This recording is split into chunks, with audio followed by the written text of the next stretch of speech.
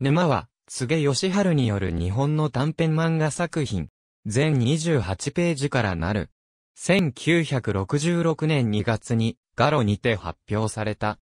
沼が生まれるきっかけとなった、被災疲労旅館告げのその後の表現上の転換となる画期的な作品。それまでの漫画界にはなかった表現主義的な作風が様々な議論を巻き起こした。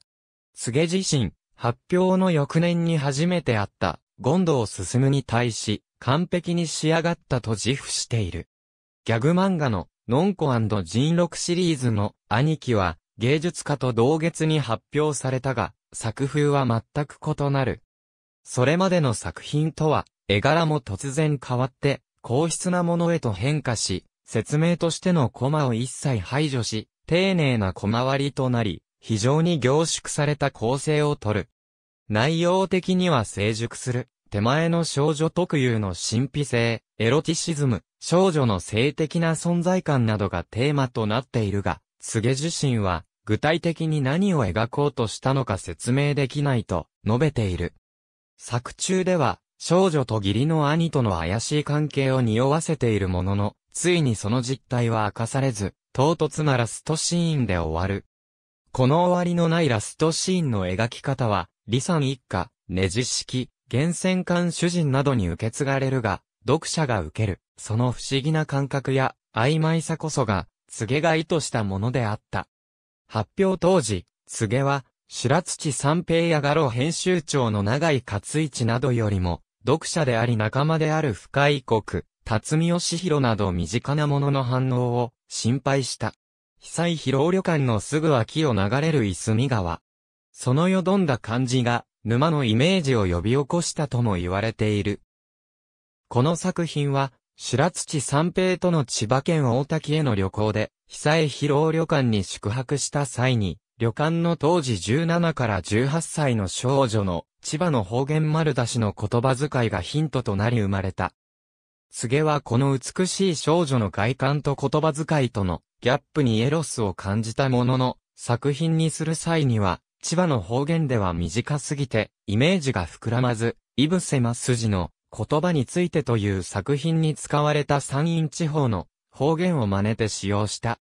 実際は、告げが引用したのは、イブセの造語であったが、後に、イブセは、イブセマスジ全集発刊時に正しい山陰弁に修正してしまう。告げが読んだのは、文庫本の古い版であった。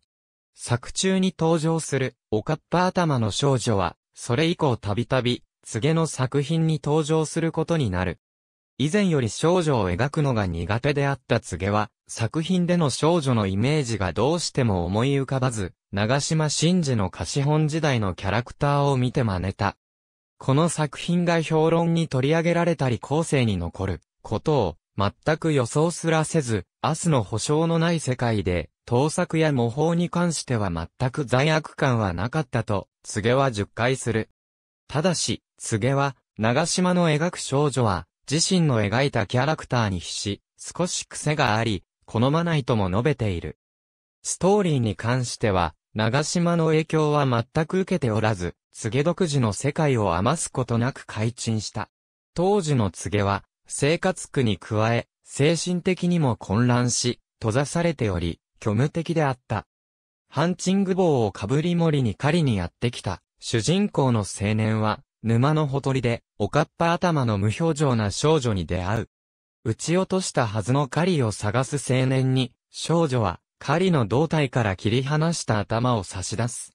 少女は青年を自宅へ案内し、二人きりにすると、扉を閉め切って身の上話をする。少女は、部屋の中で蛇を飼っている。